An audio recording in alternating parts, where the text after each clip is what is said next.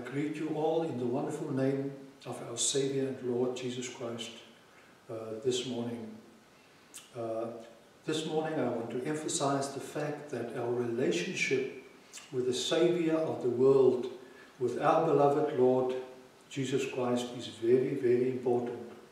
When it was possible to take Jesus out of the New Testament, out of the Bible, the Bible is of no use anymore. Today I want to speak about the subject, how often I've longed to gather your children together, but you're not willing. It is Matthew 23 and verse 37. There is a good reason for all the things that happened to Israel in the Old Covenant.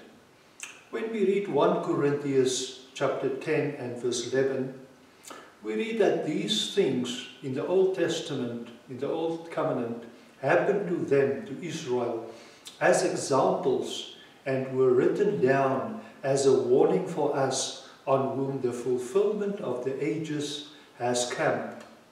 The church history, my brothers and sisters, is also very important when we read, when we read the book of Hebrews and chapter 13 and verse 7 and verse 17. We read in verse 7, Remember your leaders who spoke the word of God to you. Consider the outcome of their way of life and imitate their faith. Jesus Christ is the same yesterday, today and forever. When our beloved Saviour and Master, after his long and tiring journeys on foot, for the last time looked over the Mount of Olives or and over the city of Jerusalem, he wept. He was 100% human, but also 100% God. He was the Messiah, the second person in the Trinity, the eternal Son, who is not bound by time and distance as we are. He saw children playing in the streets of Jerusalem, children he knew and loved. After all, according to the scriptures, God also knows every hair on our head. All the days of our lives are recorded in his book long before we were born. According to the well-known Psalm 139 verse 16, he is after all the one who loves and understands our deepest desires or the expressions of sorrow, the intentions and motives of our hearts, and the most private and intimate desires of the subconscious mind.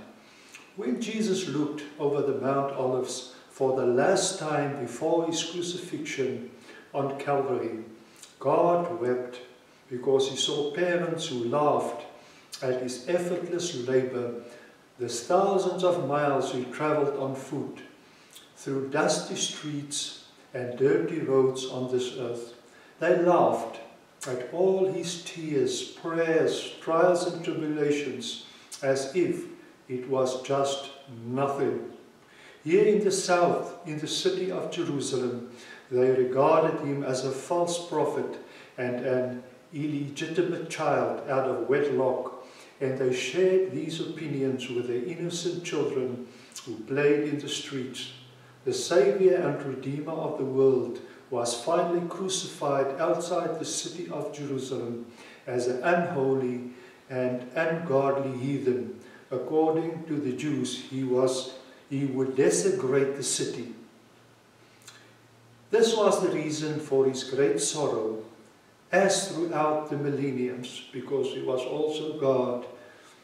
Since the spiritual fall of modern man, we read something about God's great and holy heart and his love for mankind in Genesis 6 verse 6 and in Luke 19 verse 41 to 44.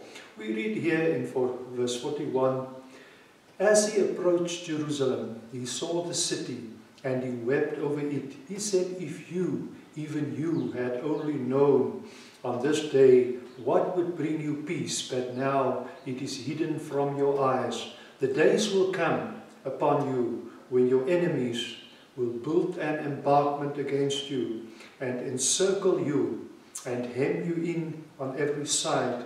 They will dash you to the ground. you and your children within your walls. They will not leave one stone on another, because you didn't recognize the time of God's coming to you. There is a favorable time, my brother and sister, also here and now in South Africa, in every man and every woman's life, when the Spirit of God paints very clearly the events surrounding the time that Christ walked the earth, his life and his death on the cross. These same children who used to play in the streets of Jerusalem were between 40 and 50 years old when the Roman army under the commander surrounded, invaded and totally destroyed the city of Jerusalem.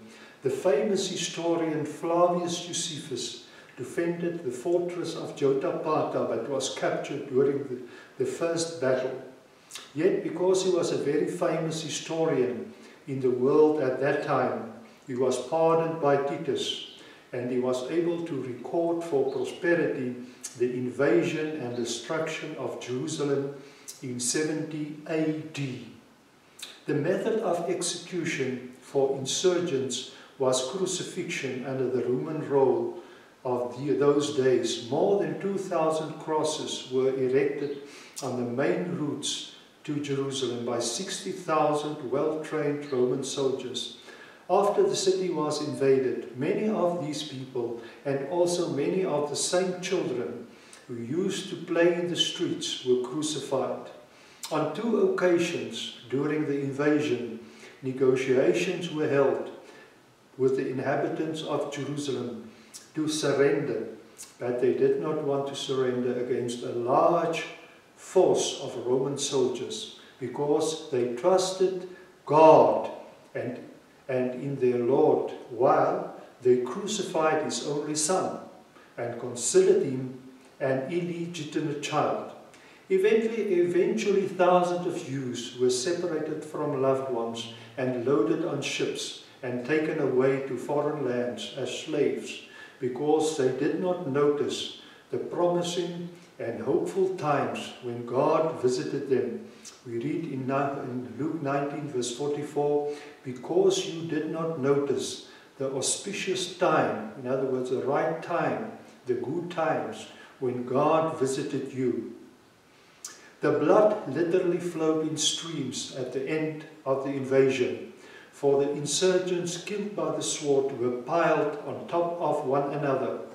So terrible was the sight and scenes in the city that the hardened commander and head of the Roman army finally put his hands in the air at the end of the battle and prayed and said, O God, do not hold me responsible for the blood of these people.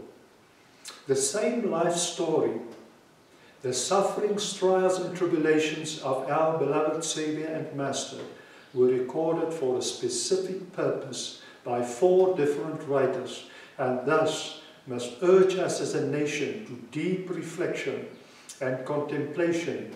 We must read the four Holy Gospels more and more because the Gospel will be more and more relevant for each and every one as we all approach the day of rapture in 1 Corinthians 15 verse 52. If the holy life, and this uh, Point number 14 here on the screen is very important. If the holy life, the many parables, corrections, rebuking, preaching, trials and tribulations of the coming Christ, as described in the four holy Gospels, including the things that were near and dear to him during his time on earth, the things that he cared about, the things that touched his great and holy heart personally, and the things that grieved him and made him happy, when these things in the Bible become important to us as a nation and cherished by us, then I have hope for our country and for our people. I want to repeat this point number 14. It's very important. If the holy life the many parables, corrections, rebuking, preaching, trials and tribulations of our coming Christ, as described in the four holy Gospels, including the things that were near and dear to him, during his time on earth, the things that he cared about, the things that touched his great and holy heart personally, the things that grieved him and made him happy, when these things in the Bible become important to us and cherished by us as, as a nation, then I have hope for our country and for our people. We read in John 1 verse 1, God is the Word, and the Word is God. When we have no time for God's Word, we have no time for God. When His holy words in the four holy Gospels become important to us, precious and valuable for us, deep down in our hearts, it will be like stepping stones for Christ in His walk with us. When there are many holy words out of the scriptures in our hearts about our wonderful Lord and our wonderful Savior, it will be like stepping stones for our beloved Savior and Master to complete the good work in our hearts as we read it in Philippians 1 verse 6. However, to follow Jesus Christ and to serve Him in spirit and in truth comes at a price. He expects not confession of all sins all the time, but an intimate walk and fellowship with Him and with the Word. In Matthew 23, verse 37, we read, Jerusalem, Jerusalem, you who kill the prophets and stone those sent to you, how often I have longed to gather your children together as a hen gathers her chicks under her wings, and you were not willing. A very good kind of person, like Nicodemus, Cornelius, and Job, who rejects the Saviour of the world on the long term is far more worse than a murderer and a thief. My brothers and sisters, thank you for listening to me. May our Lord and Saviour, Jesus Christ, bless you abundantly and may you think about these words uh, on this, uh, of this preaching. Thank you very much and have a good day.